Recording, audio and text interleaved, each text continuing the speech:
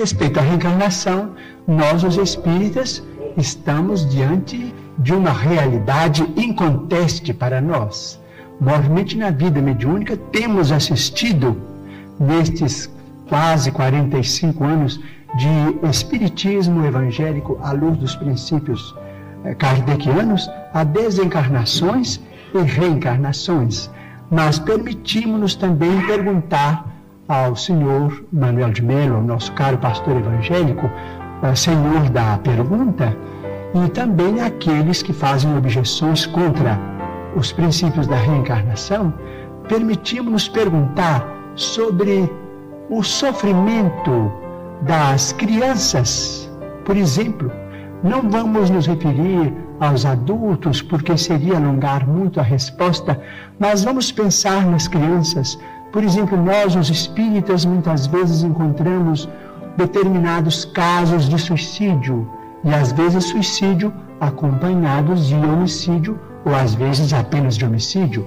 Mas vamos encontrar esses problemas do complexo de culpa ah, levado para além desta vida e depois esse complexo de culpa renascido com aquele que é responsável por ele através de sofrimentos que só podemos entender através da reencarnação.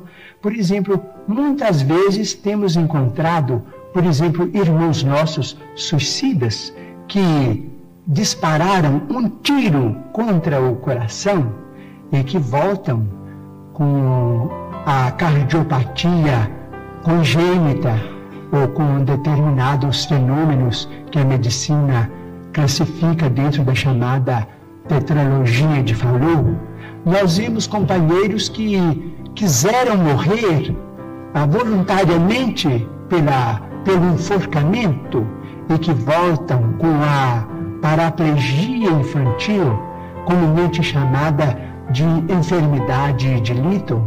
Nós vemos muitos daqueles que preferiram o veneno e que voltam com malformações congênitas, com problemas uh, miopáticos, com o mixedema, aqueles que às vezes violentam o próprio ventre e que voltam também sofrendo as tendências e que às vezes acabam se desencarnando com o chamado infarto mesentérico. Nós vemos, por exemplo, aqueles que preferiram morrer pelo afogamento para se retirarem da vida num ato de rebeldia contra as leis de Deus. Vemos, por exemplo, aqueles que preferiram o afogamento e que voltam com o chamado enfisema pulmonar. Aqueles que dispararam tiros no, no próprio crânio e que voltam com tantos fenômenos dolorosos, como, por exemplo, a idiotia, a acromegalia, quando o tiro, vamos dizer, quando o projétil alcança a hipófise, porque nós estamos em nosso corpo físico subordinado ao nosso corpo espiritual. Então, principalmente nos fenômenos, os fenômenos decorrentes do suicídio por tiro no crânio são muito dolorosos, porque vemos a surdez, a cegueira, a mudez é, congênitas, e vemos este sofrimento em crianças incompatíveis com a misericórdia de Deus, porque nós sabemos que Deus não quer a dor. Diz Emmanuel, se Deus quisesse a dor, ele não teria nos dado anestesia através da medicina. A dor é uma criação nossa.